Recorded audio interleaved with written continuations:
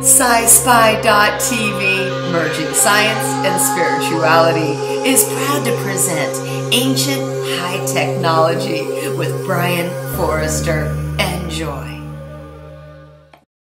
Thank you so much for joining us, Brien. A pleasure, thank you. I have seen you on so many videos at different sites. Mhm. The most recent one I saw you at was at Lake Titicaca. Uh huh. That was a really fascinating episode, and you were really talking about how you know historians have theorized that they drug these you know these big megalithic rocks on some kind of rafts and just really saying no way. No.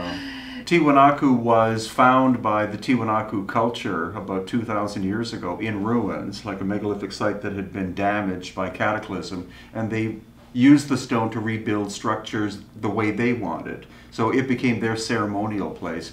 Whereas Pumapunku was buried in mud because this cataclysm had struck probably 12,000 years ago from Lake Titicaca and buried the site in mud. So it wasn't rediscovered until the early 1900s, and that's where you find perfectly precise stone fitting next to each other where you can't fit a human hair in between. Is that the H block site? Exactly, Uh-huh. exactly. Mhm. And it's you know located 13,000 feet above sea level.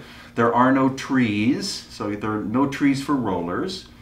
Um, so who built it, and when, and why, and how is I've been there 55 times so oh far. Oh my goodness. Uh, I'm slowly cracking the code of the place, but it's uh-huh. like going and a, and a giant book is presented to you. And it's like you're on page 14, you can reach page page 15, then we close the book again because you're never going to understand this in even 55 times. But by by the hundredth, you'll probably have cracked the code.